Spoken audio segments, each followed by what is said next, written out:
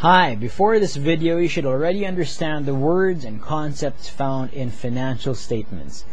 So these financial statements are the balance sheet and the income statement. So the topic for this video is financial ratio analysis with a focus on the current ratio.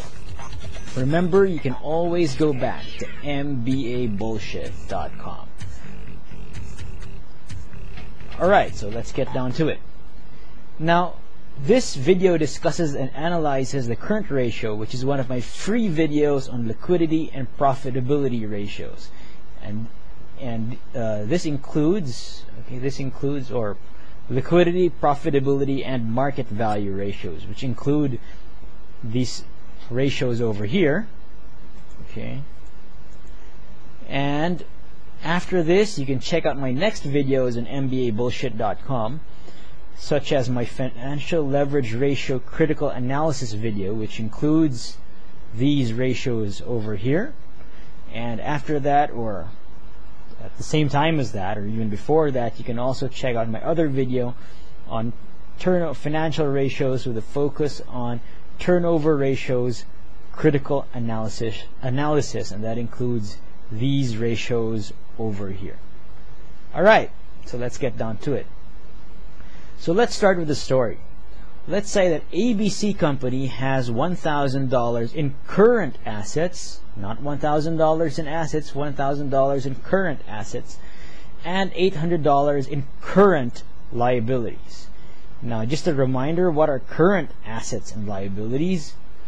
These are assets or liabilities which are convertible or which will turn into cash within the next 12 months. So if it's a current liability, it is due within or needs to be paid within the next 12 months. Current assets are assets which you can easily convert into cash within the next 12 months. So now what is the current ratio? Well, it's very simple. Current ratio is $1,000 divided by $800.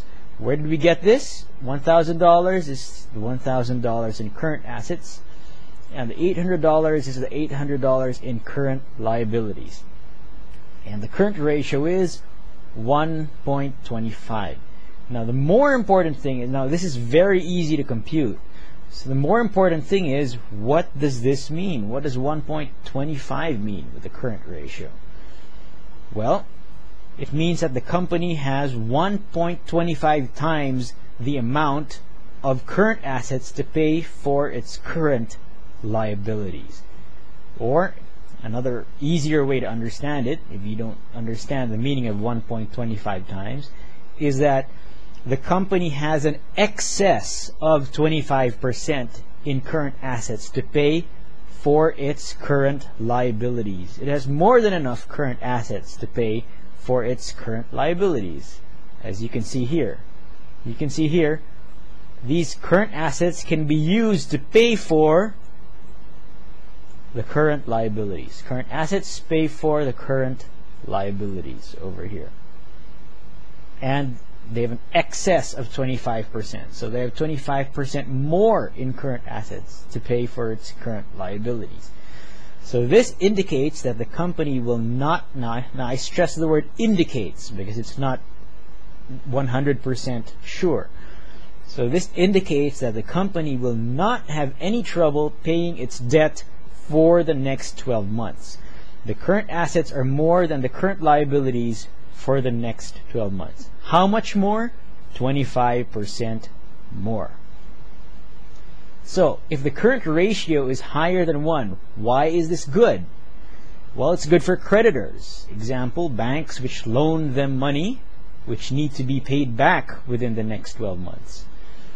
If the current ratio is less than 1, that means negative net working capital.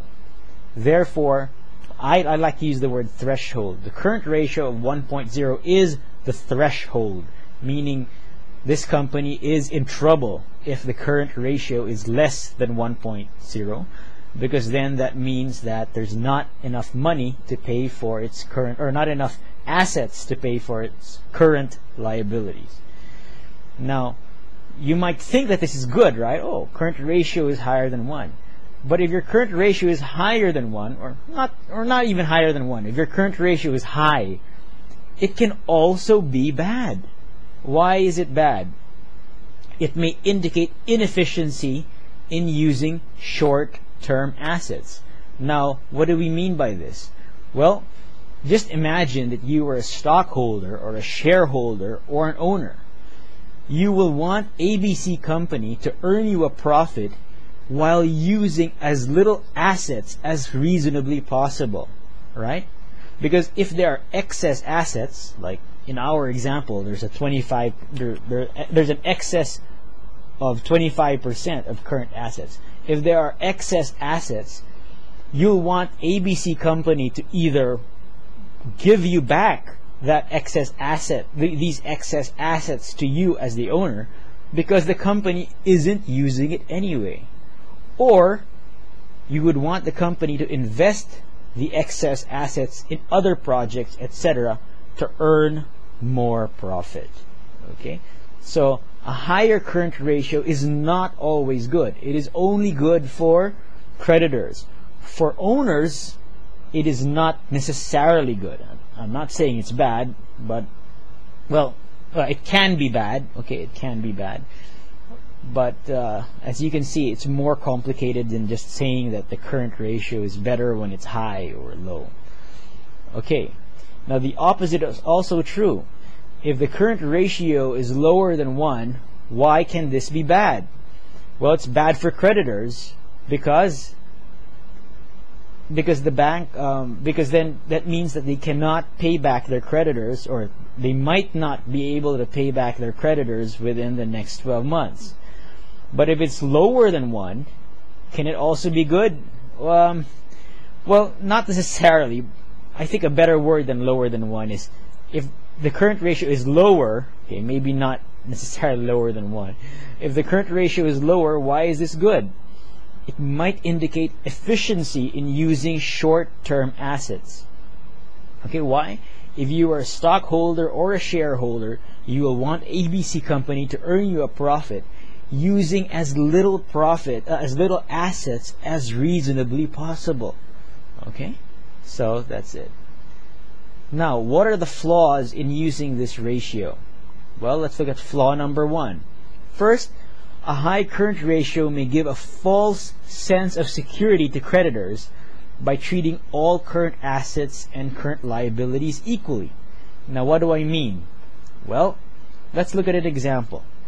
Let's say your company has little cash or zero cash, but has current assets, okay? Um, in current assets, let's say that your company has an has accounts receivable worth $105, which will be collected in the next 11 months. So this is still a current asset because it's less than 12 months, right? But at the same time, your company has current liabilities in the form of accounts payable of only $23, which is much less than $105. But this needs to be paid next month, one month from now. Okay? Well, if you if you do this uh, if you if you try to find the current ratio you'll find that your current ratio is an ultra healthy 4.57 it's way way higher than 1 than the threshold of 1 so this indicates that your company is very healthy but actually as you can see next month this company will be toast why well you have a very high current ratio because you have more than enough current assets to pay for your current liabilities.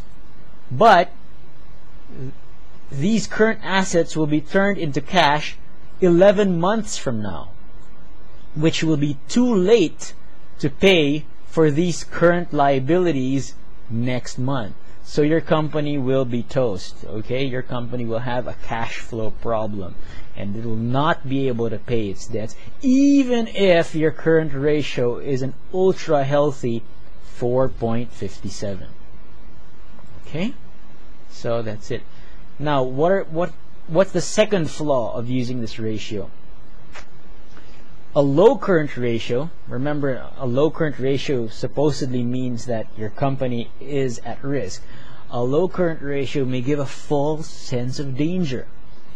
Let's look at an example. Let's say your company has little or no or zero cash but has accounts receivable of $105 as your current assets and current liabilities in the form of accounts payable of $100. So it looks like this company has a dangerously low current ratio of 1.05. So it's just a little bit above the 1.0 threshold. And so this indicates that your company could be toast, could get burned very soon or very easily. But what if your company has a huge and ready line of credit from banks, meaning that your company has a big has a has a contract arrangement with banks that anytime you need cash, a big amount of cash, the bank will automatically lend it to you in case you need it. So in this case, you will not necessarily be toast because you can always borrow the cash to pay for current liabilities. Okay?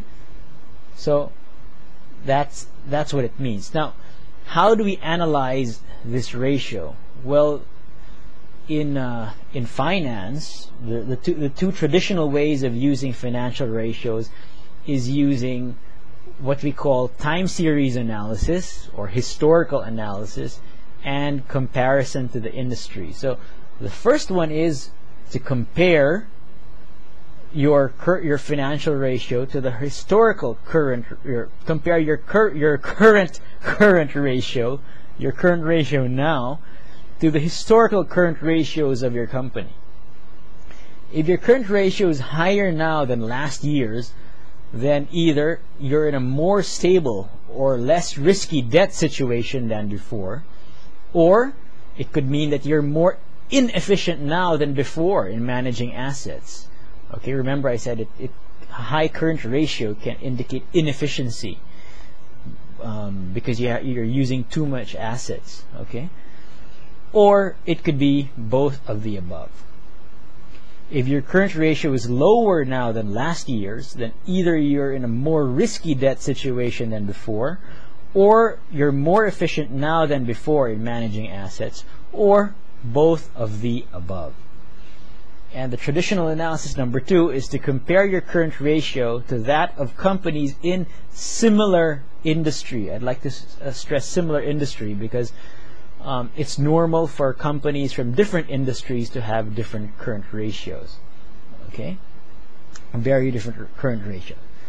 So if your current ratio is higher than similar companies, then either you're in a more stable or risky debt situ situation than them, or it could also mean that you're more inefficient than them in managing assets, or both of the above.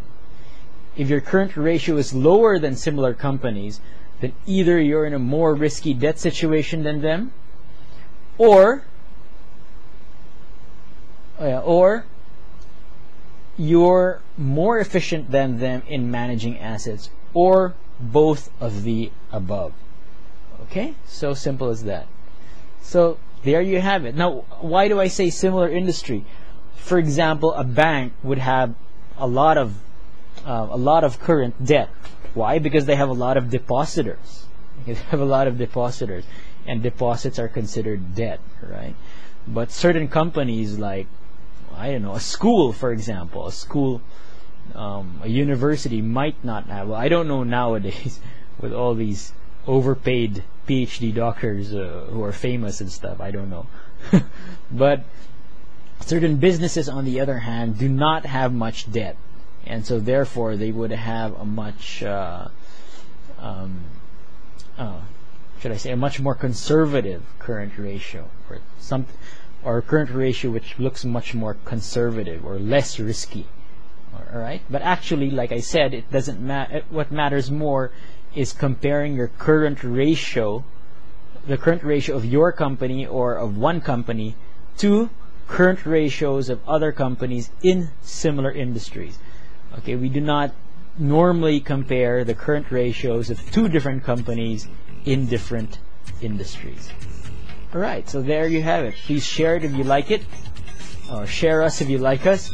On Twitter, um, just look for MBA Bullshit. On Facebook, dot, on Facebook just look, go to facebook.com slash MBA Bullshit.